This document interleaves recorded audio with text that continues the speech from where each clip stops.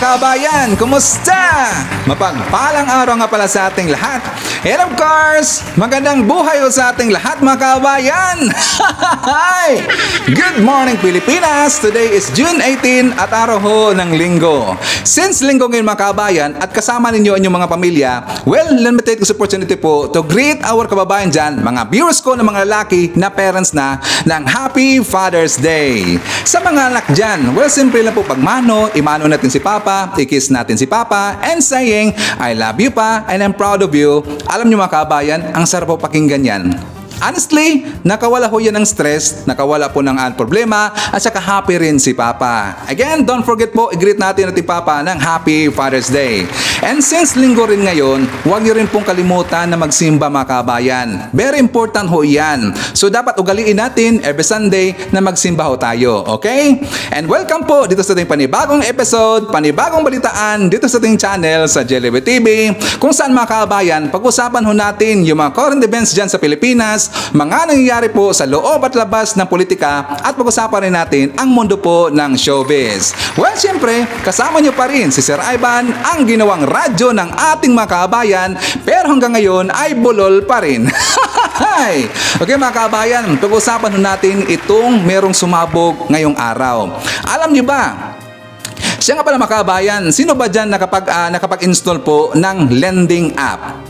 O kahit hindi ho kayo nangutang doon, pero nakapag-install ho kayo. Alam nyo, merong kumalat ngayon, may concern ngayon yung mga kababayan natin, bakit daw may tumatawag sa kanila kahit hindi sila nangutang mga kababayan. Ano sa pag-usapan rin natin, ito po, naalala nyo, 3 day, uh, 4 days ago na ba, na napag-usapan natin dito si Katapang, kasi nga natulfo sa mga kababayan. Naalala ba natin yun?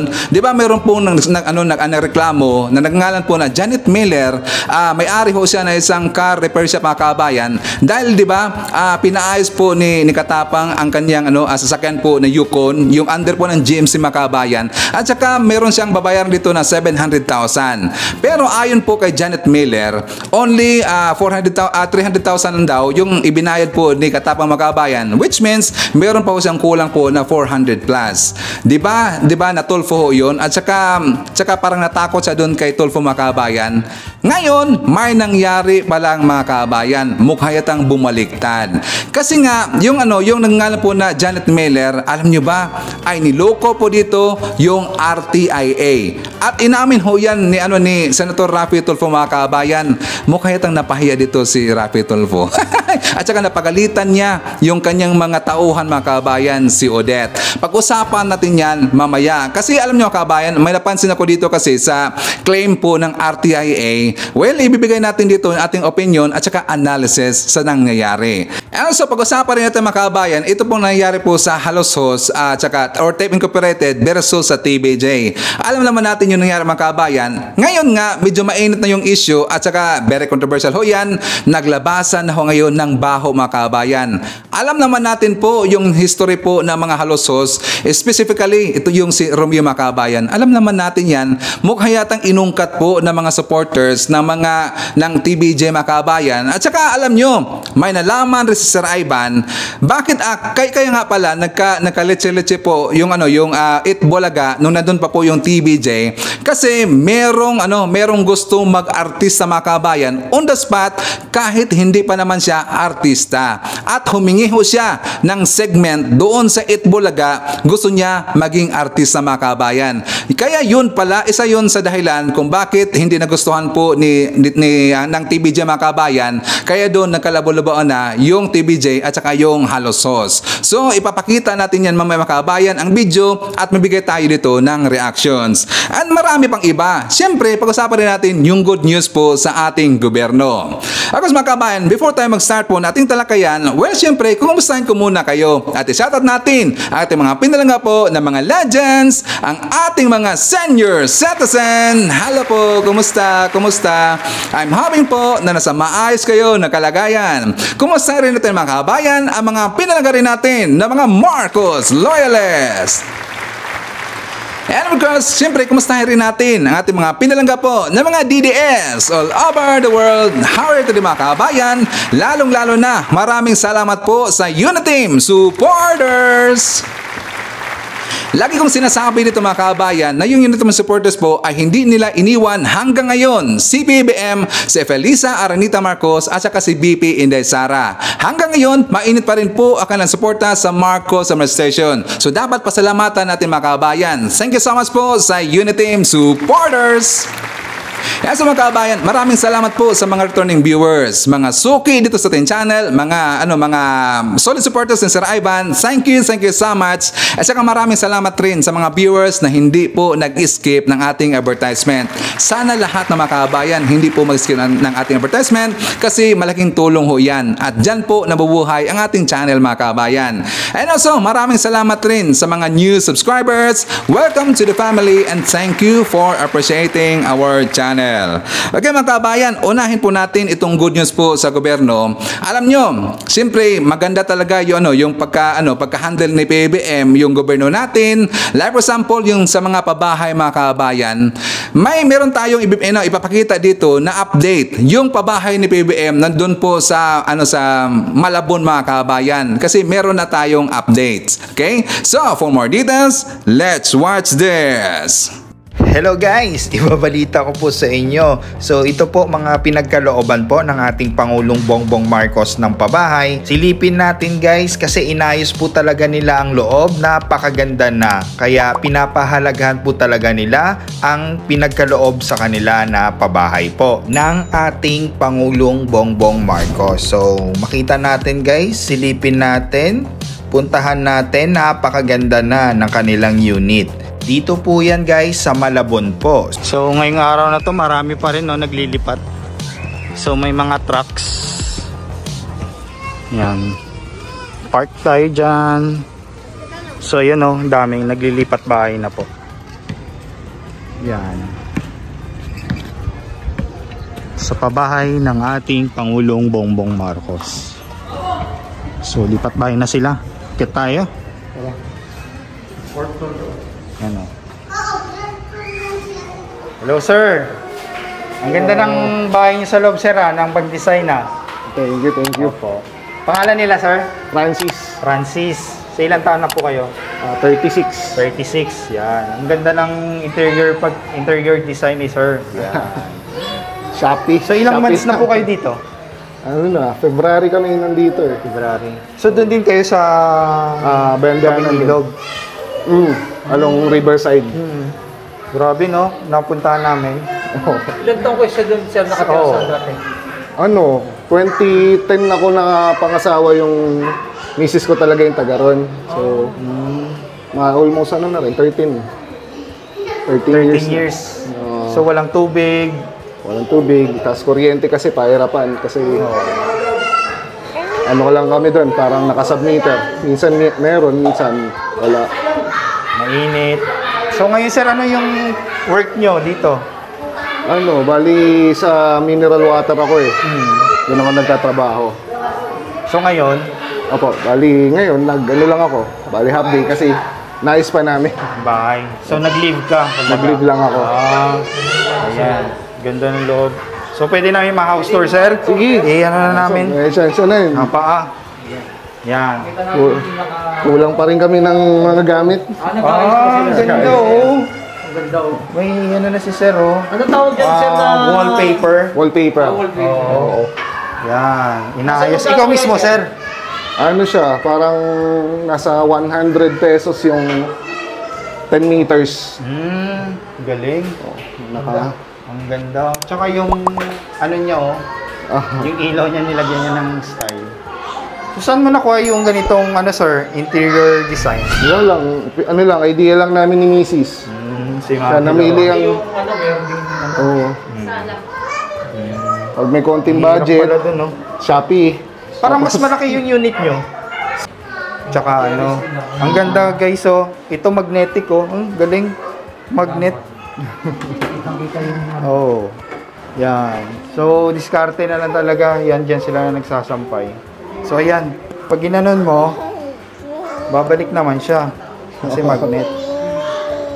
Na, Yan. Ayan na, magnet na. Yan. Ito yung ah, lababo nila. Okay? So, ang ganda. So, ano masabi niyo na sa babae ng ating President Bongbong Marcos na kayo nalipat mo dito? Ang asawa. The same time, talagang paglaki ng mga bata, eh, magandang lugar yung mga Environment. kakalihan nila. Tsaka malapit sa Tsaka school, napansin namin. Palengke.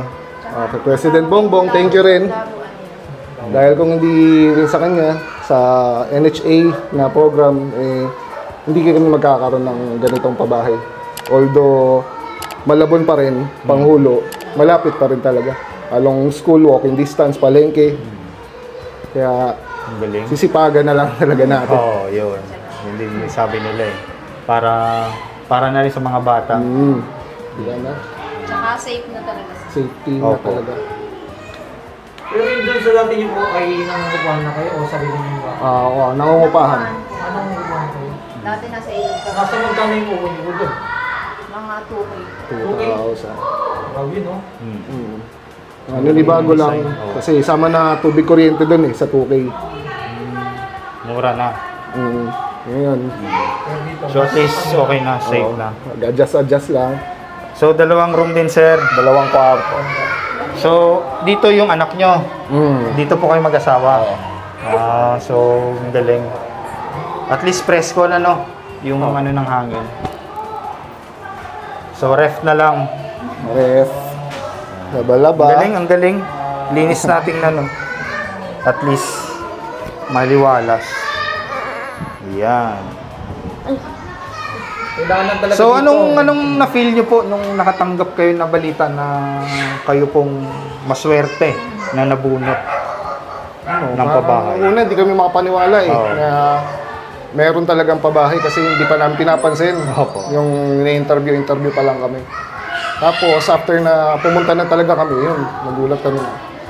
Isa kami sa napili na, although marami pa rin talaga kami kailangan, tsaka talaga nag apply Kami talagang pinuntahan sa bahay. Kaya, blessed na rin talaga, blessing sa amin. Na nagkaroon kami ng isa ditong unit. At least safe na talaga. Tsaka hindi na problema yung tubig, kuryente. Hindi, kuryente. Tapos safe pa kahit maglaro yung mga bata sa labas. Mayroon tayong, may security guard tayo na 24 hours. Naka-duty sila. Galing. So at least dito sir, makakakilala niyo na rin. Oo, taga lugar lang namin. Ah, itong sampung building, Uh, po, uh, fifth, tsaka Dito, third, fourth. po, ano, second, halos. Kasi may mga tindahan eh. May tambayan. So doon nakita na ngayon. Halos mga kapitbahay, yung mga... Okay na sir. Ganda, panalo. Ayan. Thank you so much sir. Thank you, thank you. Ayan. So ito yung room nila dito. Tsaka tan may tanim-tanim pa. Ayan. Ganda. Sir, thank you sir ah. Salamat sir. So yun nga mga kabayan, ipinakita ko sa inyo yung video na yan para makita po ng mga pinklawan kung gaano po kaganda or yung sitwasyon dyan sa loob po ng pabahay ni PBA mga kabayan. Ba nakikita natin at talaga comfortable sila at saka safe mga kabayan. Yung ano yung talagang ano ma, matutuluyan po ng mga ng mga tao, pantao talaga yung yung ah, pabahay mga kabayan. Unlike doon sa mga alam niyo na doon sa mga pinklawan, sa mga dilawan na bay para pangbahay pangkalapati mga kabayan, at least nakikita natin dito yung ano yung ah, pagkaiba mga kabayan at malaki talagang pagkakaiba, di ba? So anyways, forward na tayo. Dito na tayo mga kabayan sa topic natin tungkol po doon sa ano may merong sumabog kasi ngayon na at nag-viral mga kabayan na maraming nagrereklamo kung saan yung mga tao na yun ay nakapag-install po ng lending app. Pero kahit hindi sila nangutang mga kabayan, ah, para sinisingil ho sila ngayon. Alam naman ho natin yung mga lending app kapag naniningil ho yan, ang pangit talaga pakinggan po ng kailang mga pananalita mga kabayan. Bakit nga pala? Bakit nga pala makukuha nila yung mga pictures natin dyan sa ating cellphone, yung mga contacts natin dyan, sa ating cellphone mga kabayan, bakit nga pala kayang kunin po ng apps na yan? Di ba pag install ho natin, pagka-install natin sa lending app, ay meron ho yung mga agreements, pero most, alam alam naman tayo, mga Pilipino, ay hindi ho tayo mahilig po magbasa-basa. Ah, well, anyways, animi, aminin natin, majority po sa atin ay hindi talaga mahilig po magbasa, lalong-lalo na mag-install tayo ng apps mga kabayan kababayan, automatic natin i-check at saka finish or okay, di ba? Pero doon po sa kanilang agreements ay ano, binibigyan natin sila ng authority na, na ano na makontrol po yung ating ah, data diyan sa cellphone mga kababayan. Babasahin nyo lang po 'yon. So yan po ano, yun po ang nangyayari ngayon. Kaya maraming nagrereklamo dito. Kaya mag-ingat tayo sa mga lending apps kasi scam yan mga kababayan. So, for more details, let's watch this. sa online lending po, ah yun na nga, no? Pu- ano ba yung kadalasan ang, yung kumbaga, bakit nahuhulog ang mga Pilipino dito sa mga online lending scam na ito? Ito ba ay random lang pinapadala or may tina-target? Paano ba natin malalaman kung scam ba ito or legit naman siya? Kaya lang parang loan shark ang dating dahil napakalaki ng kanyang interest. Ah, Baka pwede niyo pong i-explain, when does it become a scam? Okay, itong mga online lending apps na to, makikita natin sila sa mga social media platforms. Mer meron sila mga advertisement where nag-offer sila ng ano nga ng lending ng pag ng pagpapautang. Ngayon, yung mga ang, ang requirements nila is simple. Kailangan meron ka lang social media platform, tapos meron kang ID, tapos madali ka nang makapag-apply. So what you do is like when you create an account, ah gagawa ka ng, ng account in order for you to be able to have access na para makapag-utang ka.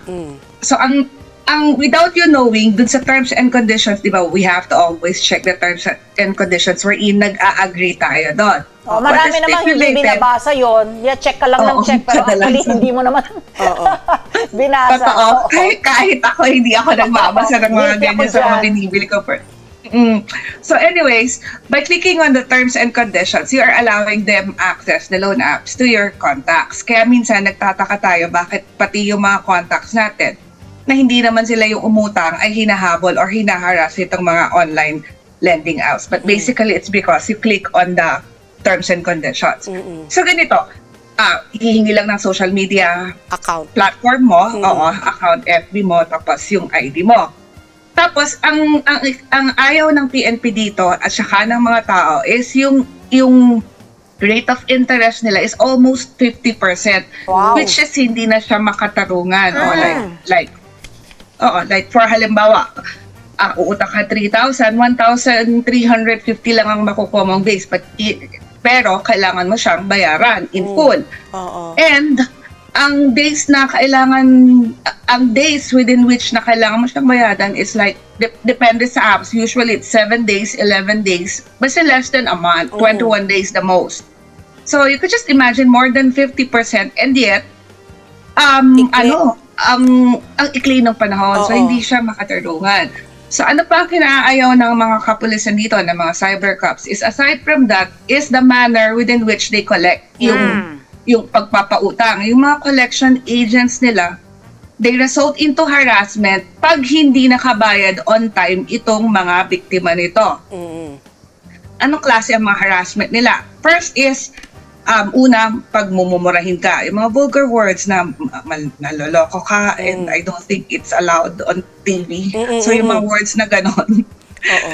Yun yung una. Second is, um, ah, tatakutin ka nila kasi different collection agents. Let's say, ako yung unang kumukolekta. Ako yung agent number one. Ah, ma, magbayad na mo po kayo ng utang nyo kasi ganito, may utang kayo. So, pag hindi, hin- minsan, hindi hindi sumasagot agad or dinededma ng mga ah, ah, ng mga nangungutang. So, ah, o di ka binablock or sinisin mo, whatsoever. So, ipapasa ko naman siya next dun sa ibang collection agent. This time around, ah, medyo ano na, mas, mas ano na, mas matindi na.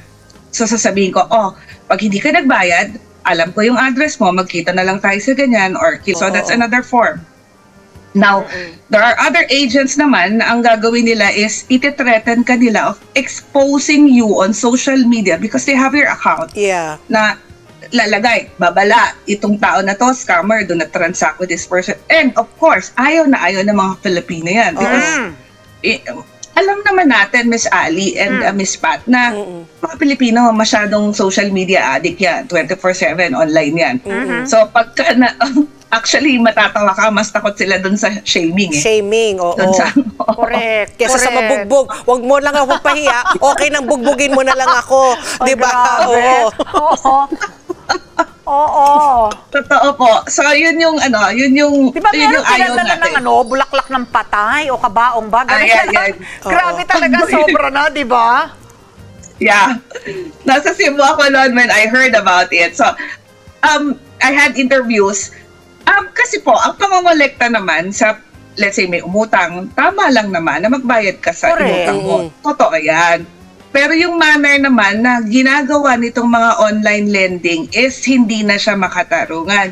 And um, ang reminder natin dito sa mga lending apps na to, remember po, sa Securities and Exchange Commission, Oh. merong law yan, I think it's um, number 18, Memorandum Circular number 18, where, Mm. wherein lahat tayo dito, even banking institutions, digital wallets, ay bawal po yung unfair debt collection Oo, practices. abusive Like I said, collection practices. Oo, oo, oo.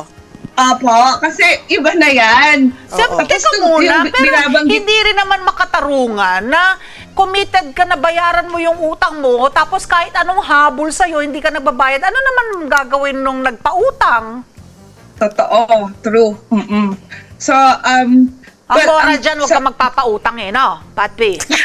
sa mga ganyan, no, unless kakilala So yan mo mga may- kabayan, ulitin natin dito, yung mga lending app po ay hindi talaga safe yan.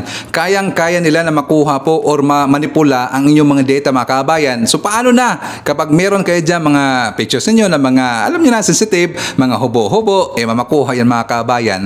At saka malalaman rin nila yung mga exact ninyo na mga address or location through GPS kasi yan mga kabayan. Kasi nga, control na nila ang inyong cellphones. So mag-ingat po tayo kung sana hindi na natin i-install po yung mga lending app mga kabayan.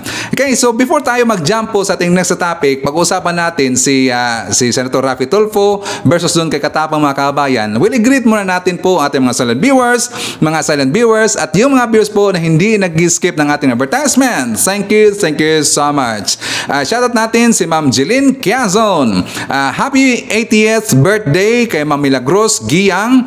Ah, also happy birthday kay Jerome ah, Giyang from ah, greetings come from Artemio Dumlao of Dasmariñas, Cavite. Nandyan rin si Ma'am Milagros Derelo, ah, Rosario Stucci, Nonoy Floren Hills, Marcres Hernandez. Nandyan rin si Norma Gonzalez Gomez. Ah, hi to ah, Emily Ponsaran Timaho, Len Gonzalez, Elma Banyaga, Estrella Centino, Lemuel Pasco, Maria Midasiplon, Ramel Alimba. Hi to John Dex Cortez from Riyadh, Saudi Arabia.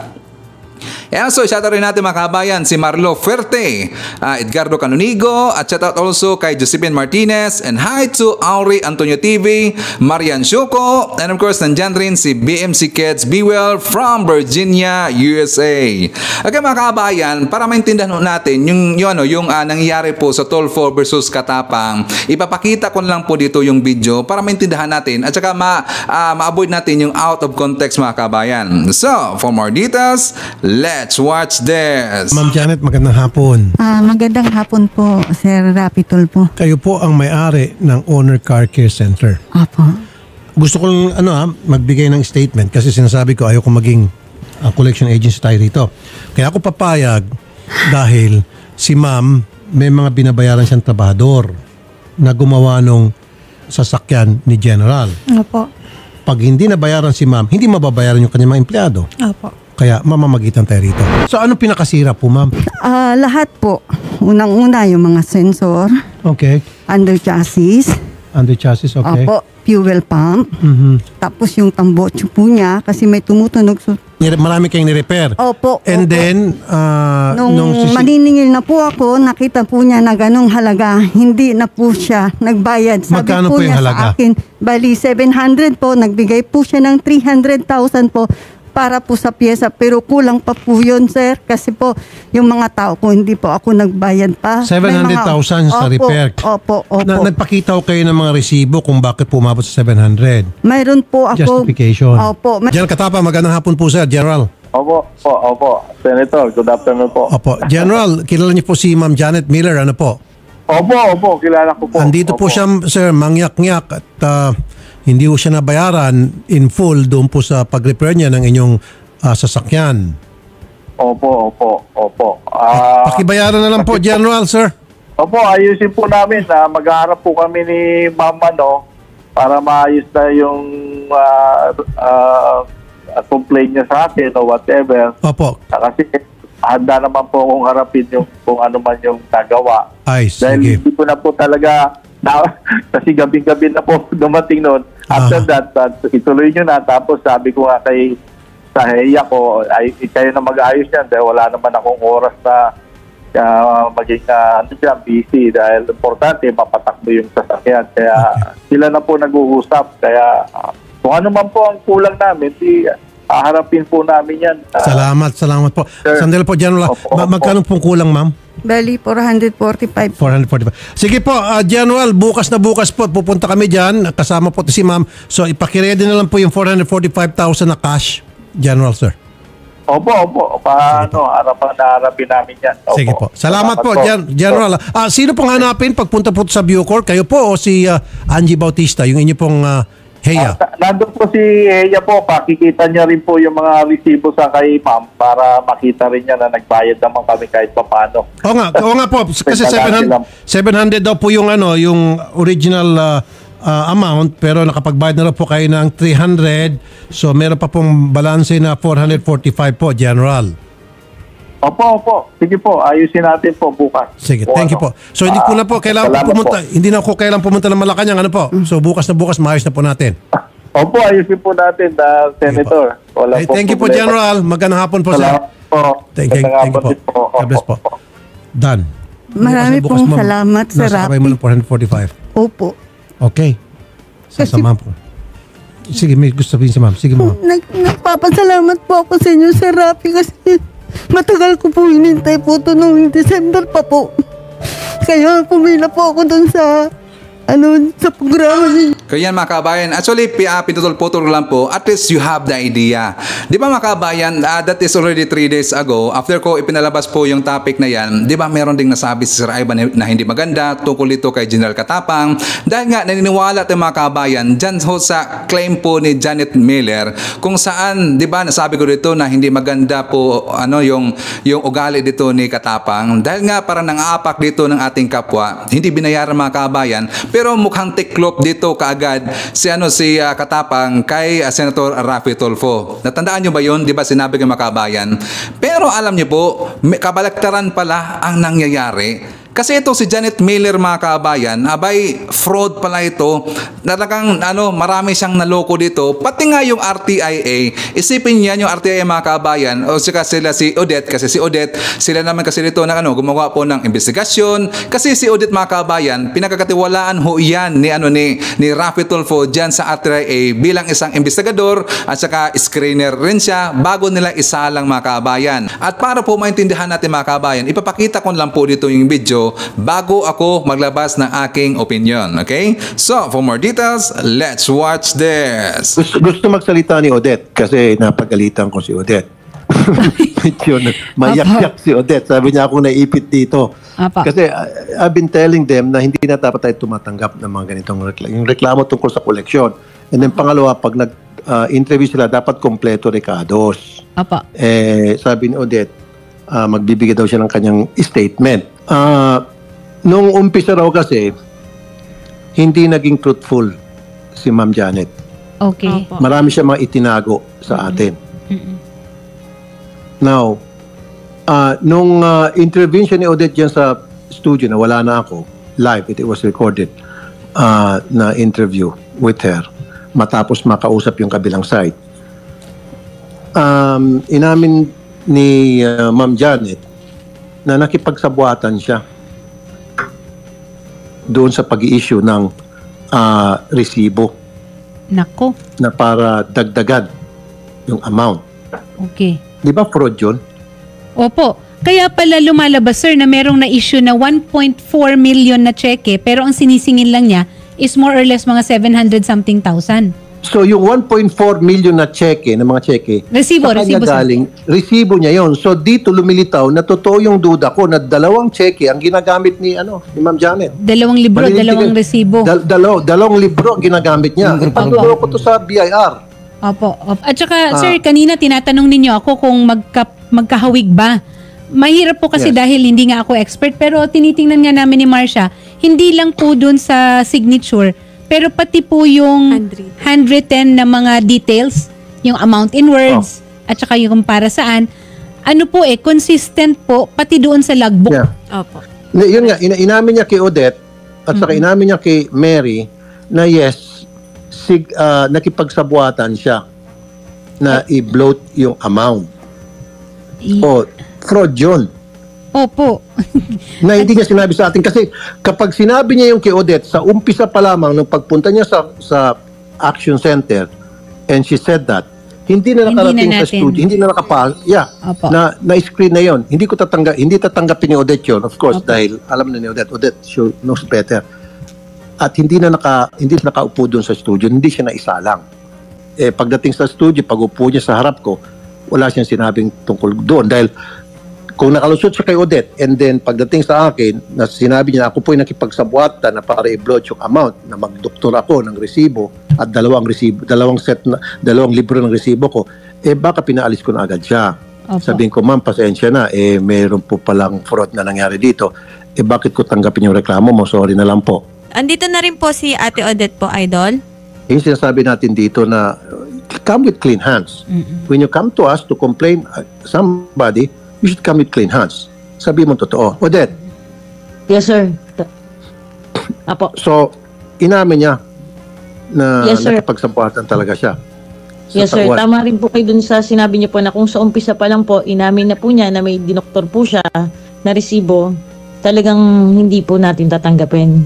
Hindi naman po tayo tumatanggap talaga ng mga yung nandadaya po, tapos kukonsintihin po natin. At saka isa pa, yung pandaraya sa gobyerno niyan, magdadaya ka sa BIR.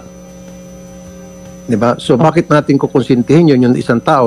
Sige, dahil sa kahirapan, eh, Yeah. may kasabihan na kahit na eh, I mean, ignorance of the law excuses no one. Magpe-play siya ignorant. Sabihin niya, hindi, hindi ko alam na kasalanan pala yung mag, maggagawa ng fraud. So Odette, ano ka na, okay ka na rito? Kasi Odette, ito nga yung kanina pagalitan ko. Eh, Yak-yak si Odette. Eh, so, lesson learned ito sa inyo, Odette, na next time, huwag na kayo magtanggap ng ganung reklamo. And then sa lahat ng reklamo, ah, dapat pakitaan na ng resibo.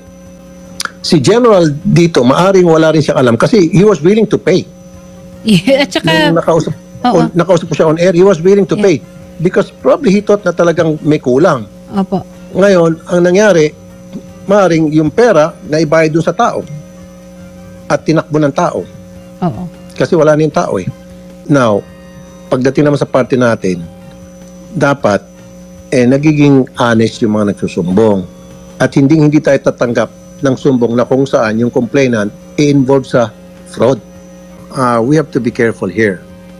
So next time, um, kailangan sa lahat ng mga complainant, maging truthful kayo sa amin para magawa namin ng evaluation assessment kung karapat-dapat ba namin kayo tulungan. At kung kailangan pa rin kayong tulungan dahil maaaring nga itong si ma'am, eh, nakipagsabuatan siya para lamang eh, mabayaran siya, then hindi na namin i-on air yung inyong reklamo.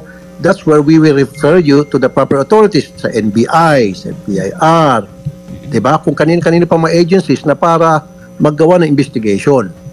Ano mga kabayan, kung bakit tulo tanggol dito si ano yung si Senator Rapi Tulfo at saka yung RTIA, nag full force na ngayon mga kabayan.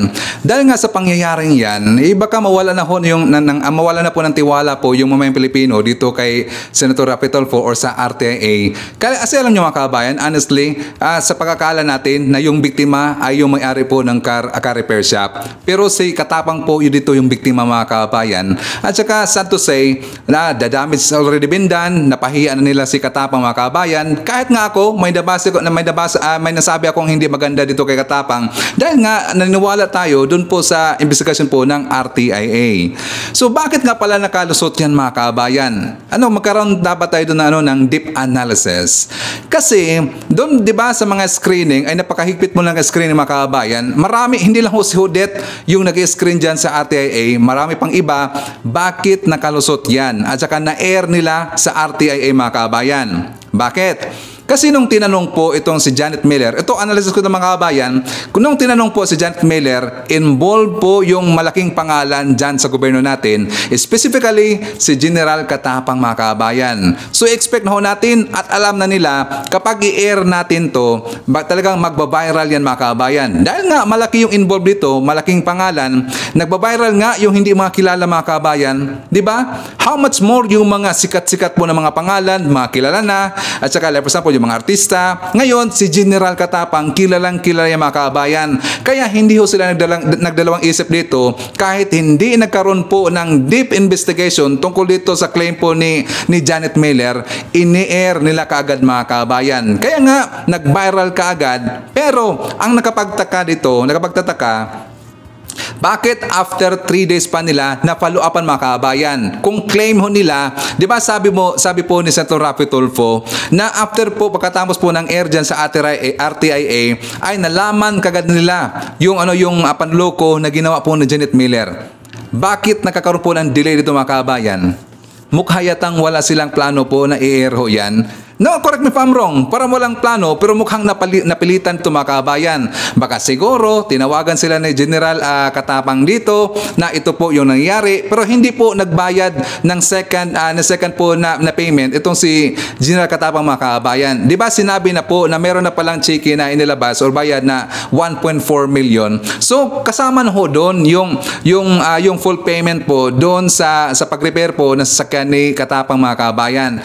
Pero gusto lang itong manloko si Janet Miller. Kaya nga gumawa siya ng ibang libro at saka ibang uh, resibo. Yun mga kabayan. Gusto pa yatang pagpirahan niya itong si Katapang. Pero at least siyempre alam naman natin yan. General yan eh. Mautak yan mga kabayan. Yun nga. Itong analysis ko. Baka tinawagan po ni General Katapang itong si Senator Rafi Tolfo. Pero kaya nga alam niyo mga kabayan, dyan kasi sa social media, mahirap kasi ano, mahirap kasi mabawi kapag napangalanan na itong tao na to na inireklamo dito, yan po kasi ang nakatatak sa atin. Pero sana ang gagawin dito ni Senator Rifle Tolfo, hinintay ko kanina makabayan na sana po na sana na mag uh, humingi dito ng dispensa dito kay ano kay Katapang. Pero hindi ho yan ginawa ni Senator Rafi Tolfo makabayan. Hanggat natapos po ang kanilang programa, hindi ko talaga narinig po na humingi siya dito ng sorry kay Katapang. Kasi alam naman nila na ang mali dito ay yung RTIA. Walang mali po doon sa grupo ni Katapang mga kabayan kasi nga nagbayad sila. 'Di ba? Nagmamadali po si Katapang sa pagsagot. Okay, ano, uh, isolve natin 'yan. Babayad ka agad kung ano claim niya.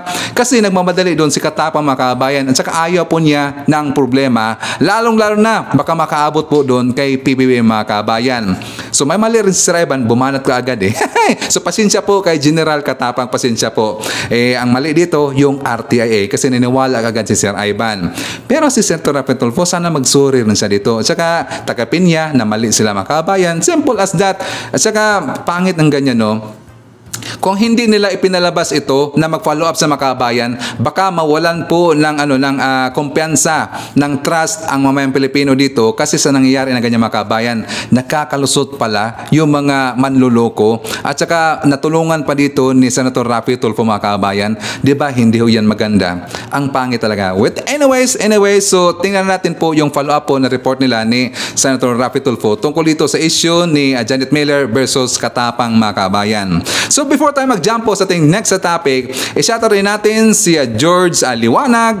Nandyan po si Ilocanang Kuripot daw. Hi to Anita Pornias, Maria Victoria Vasquez from Japan. Nandyan rin si Ilocana Kana. Hi to Vida Cardona, Maria Cristina Fernandez Manimbao. Nandyan rin si Erickson Tismo Vlog and belated happy fiesta daw sa Gingawan, Tanawan, Leyte. Hi to Atinta family at shout out also sa Bita Sulu family and shout out kay Junalor Atinta Tesmo. Hi to Eleanor Fuentes, Roberto Simbrano ng Tarlac and shout out also sa kay Vicente Andales from Kuwait, Farwan, Nia. Kaya mga kabayan, dito na tayo sa Halosos versus TBJ. Alam niyo ba, ngayon ko lang nalaman po na may plano para gustong ano gustong ah, gustong magkaroon po ng segment or portion doon sa Itbulaga nung nandun pa lang po yung TBJ sa GMA.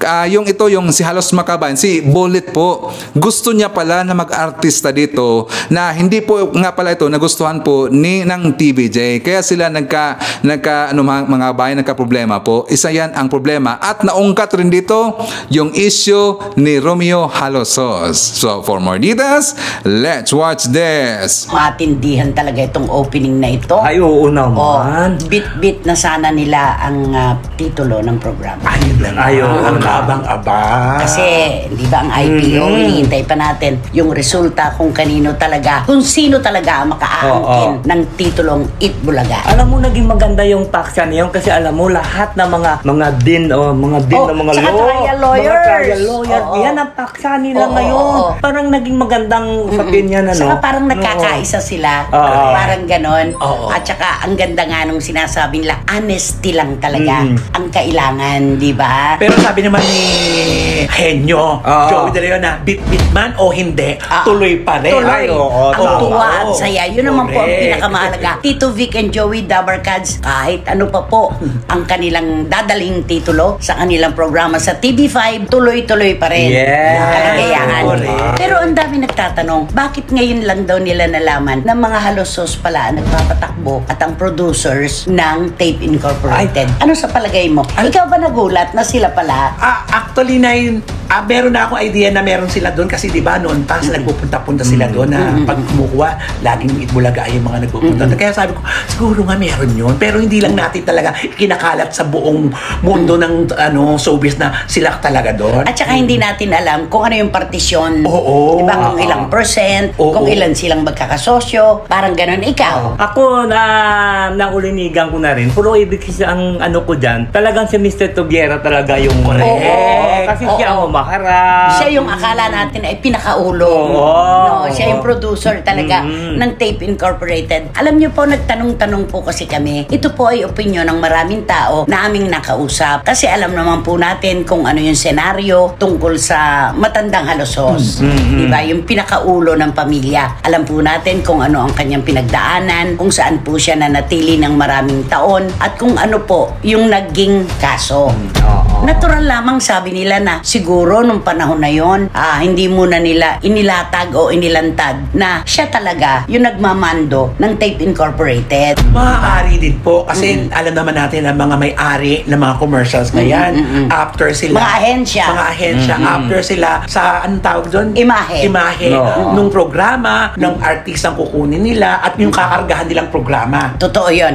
At meron pang ang kwento na kapag daw kasi nalantad na siya yung talagang ah, major, major na may-ari Oo. ng kumpanya ng Tape Incorporated, marami raw magbabaklasan. Lalo na raw po yung mga produktong pambata. Ano ba ang mga produktong pambata? Gatas, Oo. lampin, Oo. at marami pang iba, di ba? Mm. Yun. Yun po siguro ay may katotohanan. Although hindi po kami pwedeng magpakalalim dahil hindi namin alam ang mga detalye. Pero yun nga siguro yun. Kaya tayo eh, maraming kababayang nagugulat. Why only now? Yun na Oo. nga. Oo. Bakit ngayon lang sa tagal-tagal, biro mo, 40, 40, 44 years. 44 years. 44 years, Oo. biro mo, ngayon lang sila. Mm-mm-mm. Ngayon lang sila nakikilala Nakilala. at Oo. nakilala. Totoo-totoo yan. At alam mo ba, nakuha ko yung impormasyon na sa una palang pag-uusap ng Tito Vic and Joey at ng mga halusos, pumayag na pala ang Tito Vic and Joey Oo, di sa ba? 60%. Ah, 60% na lang ang kanilang sweldo. Ah. 60% ha, ang kanilang pakiusap lang, huwag babawasan yung mga maliliit na empleyado ng Tape Incorporated. Oh, maganda naman Oo. pala. At yung matagal na matagal nang nagserbisyo Mhm. sa kumpanya, huwag babawasan. Oo naman. Dahil ang dami-dami naman na nilang taon na, na ginugol sa pagseserbisyo. Nagsalita pa nga raw si Joey eh. Sabi raw, paabutin nyo lang kami ng 50 years tapos sipain nyo na kami, okay lang sa amin. Ay, oo naman. Ang sakit nun, di ba? Pero nakahanda sila eh, no? Mm-mm. Pero pagkatapos po ng pag-uusap na yun, pati yung mga ayaw at gusto ng mga lusos na babaguhin, biglang nagpa-interview si Mayor Bulet. Yun. Oo. Doon nagsimula ang lahat. Doon, nagkabaligtaran. Parang nagkabaligtaran. At saka ito, pwedeng i-deny ito ni Mayor Bullet. Pwede rin naman niyang panindigan. Pero sabi nga natin, kapag nasusukol na, dalawa lang ang pamimilian. Oo. Diba? It's either panindigan or i-deny. I-deny niya. Pero tingin ko hindi yan ma-i-deny yun eh. Dahil maraming nakarinig. Yes, Oo. oo. Nagkaroon pala ng isang, ah, naku, nakakatawa to. Matatawa kayo talaga. Nagkaroon pala siya ng ideya na yung one for all, all for one, siya pala yung darating na nakamotorsiklo.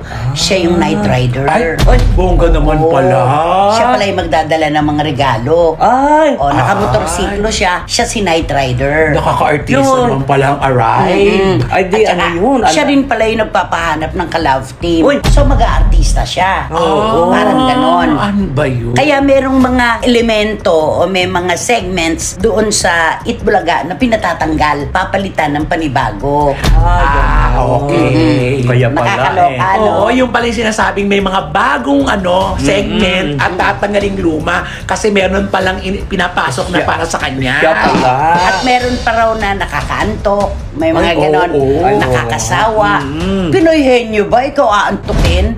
Di ba kapag ka umaandar ang Pinoy henyo sa Itbulaga, nakikihula ka rin kahit alam mo na yung sagot Ah, ah, ah, ah. Nakaka-excite. Mm-mm. At saka yung bowel judgmental, masyadong may suntok sa puso yun. Ay, oo nga. Lalo na kapag mga OFW sa iba't ibang dako ng buong mundo ang nandoon bilang contestant. Oo, at saka kwento ng buhay, totoong kwento ng buhay yun eh. At saka alam mo yung panahon na yung nga ng COVID nga, yung COVID year na yun. Tingnan mo yung mga inaimbita nila, mga medtech, yung mga frontliner May connection. natin. Oo, may, May connection sa Oo. pandemya. Mm. Di ba? At saka maganda, malalaman mo ang buhay ng Amerika, Mm-mm. ng Canada, Asian countries. Ganito pala ang Oo. dinaranas ng ating mga kababayan, di ba? Totoo. Kaya ganun. Ang dami-dami po pala nilang ipinasok na ideya na kailangang gawin ng Itbulaga na hindi nagustuhan ng Tito Vic and Joey at ng mga Dabar Cats. Ay, syempre Di naman. ba? Bakit naman? ano O syempre, ikaw kung bilang isang artista na ikaw yung gumagawa, alam mo kung paano ano yun eh. Ikaw yung nakakaramdam na, Oo. ay, hindi kakagatin to kasi. Ah, ah, ah, ay, ah. ako mismo, May hindi ko, pandama ka, Oo. di ba? Ako mismo, hindi ko makagat, hindi ko maano Oo eh. nga. Iba pa kaya? Yun yun ramdam mo yun eh, kung Oo. kakagatin o hindi. At uulitin po natin, nung last episode po, binanggit na namin yung mga tatanggalin. Si Paolo Ballesteros, si Mm. Ryan Agoncillo, si Riza May, Oo. at sino pa yung isa? Si May. Oo, Si Maine Mendoza. Oo, si Maine Mendoza. Apat sila. Dahil ang balita nga, Papalitan ni Soraya. oo. Oo, di ba? Kasi si Soraya daw ang mag dadabmas, dabmas yung gano'n. Dabas, dabas. Uy, kinukumusta ka ni Soraya. Ay. Sabi niya, maganda naman daw siya. Sumali muna siya sa beauty contest mo. Ayaw talaga nila si Soraya mga kabayan. ano, parang alam niyo na, gan- ganyan talaga yung showbiz. Anyway, so at least alam na natin, alam niyo si Bullet Halosos pala yung gustong plano na mag-artist sa mga kabayan. Pero hindi ho yun nagustuhan po ng TVJ. Kaya sila nagkagulo mga kabayan. So anyways, yan po ating mga nakala po ng mga balita ngayong araw. Kung nakaabot ka po sa portion na to, sana nakapag-like na ho tayo. Libre po ang mag-share. Please share our vlogs always mga kabayan. Don't forget that. At saka maraming salamat rin sa mga viewers na hindi po nag-skip ng ating advertisement. Thank you, thank you so much. So before po natin tapusin ang ating programa ngayong araw, sana sabayan nyo si Sir Ivan para sa ating live messaging prayer. Dear God, Thank you for this new day and the blessings it holds. As I begin my journey, I humbly ask for your guidance and presence. Grant me strength and clarity of mind as I face the challenges ahead. Fill my heart with love and compassion that I may be a source of kindness and understanding to those I encounter. I surrender my worries and fears to you, trusting that you will provide comfort and reassurance. Be with me throughout this day, and may your light shine upon my path.